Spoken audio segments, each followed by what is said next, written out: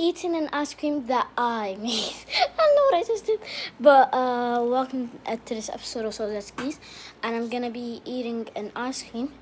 Oh, well, cut off. But yeah, I'm gonna be eating an ice cream that I made. We're gonna add this. We're gonna come back. Okay. I'll see you when I've done. Okay guys, we are back and yep, added some uh, of this. But yeah, um, let's taste it.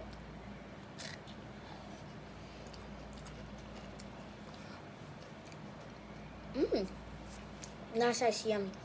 Uh, I don't know why people say brain freeze. For me, it's usually the front two teeth freeze. but yeah, peace.